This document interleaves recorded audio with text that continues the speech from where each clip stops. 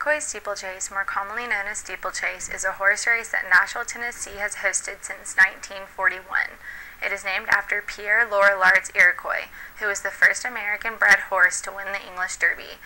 It always takes place the weekend after the most famous horse race of the year, the Kentucky Derby, at the beautiful Percy Warner Park.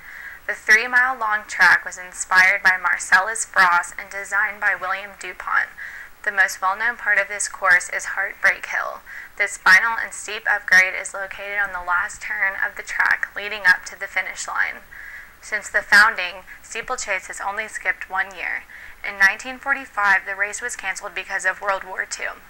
Most people tend to forget that there's actually a horse race going on because they'd spend their day socializing with friends, playing cornhole, and downing beers and cocktails.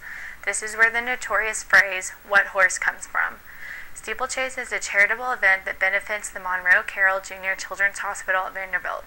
Since it was decided in 1981 that the Children's Hospital be the beneficiary, Steeplechase has managed to raise more than $9 million for the hospital. Besides being an event for a great cause, Steeplechase allows both girls and guys to dress up in their Sunday best. Girls spend weeks searching for just the right sundress and over the top hat to wear.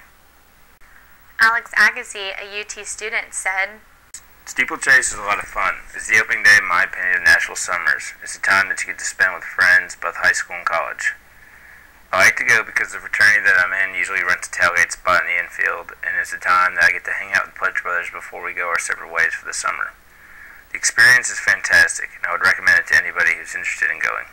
Steeplechase not only marks the beginning of summer, but is a day where students who have just ended their exams can finally relax and unwind.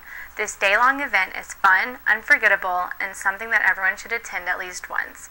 Whether you like to drink a lot, hang out with friends, or watch a horse race, Steeplechase is guaranteed to have something that you surely will enjoy.